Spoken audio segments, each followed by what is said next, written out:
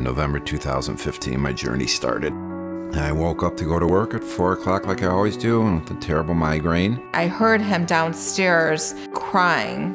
I told my wife Amy, I said, I think we need to go to the emergency room. The ER doctor told us, he said, he has a huge brain mass, huge brain mass. And I still can hear it. After surgery, he said I removed a glioblastoma, multiforme grade 4 tumor. I had no idea what that was, what it meant. My wife Amy did. I knew then that that was a death sentence. I was just trying to keep it together. We had just gotten married. My son was getting married. My daughter was graduating college. I just knew I had to survive. They presented us with some clinical trial options, and then I realized what an impact I might have by completing this successfully, helping others. He blew through it with flying colors. There was, thank God, no sign of cancer. As far as I'm concerned, I'm cancer free. Most patients, like Andy, have to withdraw from chemotherapy because their bone marrow fails.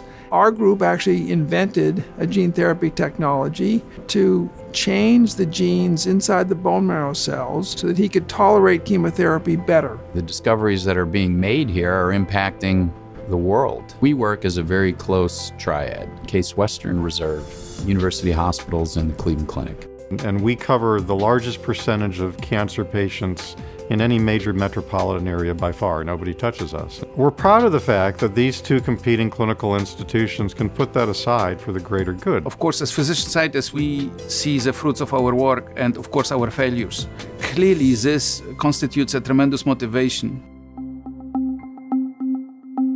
Cleveland has a very high smoking prevalence, more than double the national average. By conducting high level evidence based tobacco interventions, we hopefully bring about change and reduce the risk of cancer. In the last two or three years, we have introduced more drugs for treatment of leukemias than it has been in the past 20 years. Very proud of John Wang's discovery of genetic abnormalities in patients with colon cancer. And now he's in a clinical trial and is showing dramatic results. They're breakthroughs, and we want to build on them. For instance, CAR T therapy, we modified white blood cells to attack a tumor. And take people who would otherwise not be around in three months with untreatable leukemia and generate remissions that are lasting today. And we are, for the first time, offering cells produced right here for our patients. Our Office of Cancer Disparities and this Comprehensive Cancer Center in particular, I think it serves as a model for other institutions. This is a tremendous privilege pleasure, and also responsibility.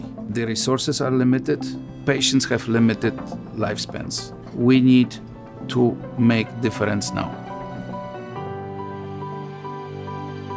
You know, people need to understand that there is hope. It doesn't have to be a death sentence. It does not have to be a death sentence. I'm living proof of that.